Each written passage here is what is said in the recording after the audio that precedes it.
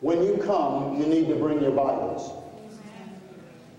The Spirit of God, if it's one thing He is quite aware of, that is, there's enough entertainment in the world.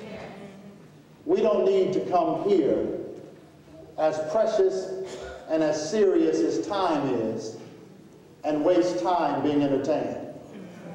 We need to come here and experience a fresh revelation of the Spirit of the living God through His Word.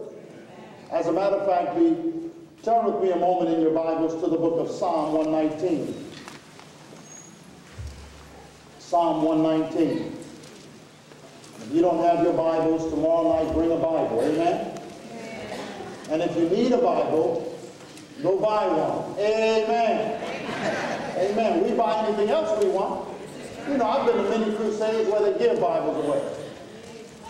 Now we have CDs, and we get the latest CD, and we have DVDs, and we have videos. We have anything we want. Amen. We can get a Bible. Amen. So tomorrow night, buy sometime tomorrow, pick a Bible up. Go ask a hotel to give you a Gideon Bible, but bring your Bible tomorrow night. Amen?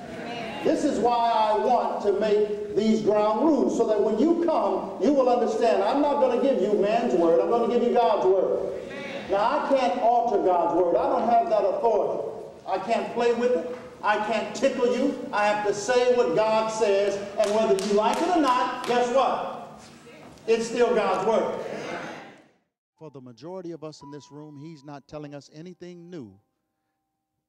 He's just showing us how we have not been listening.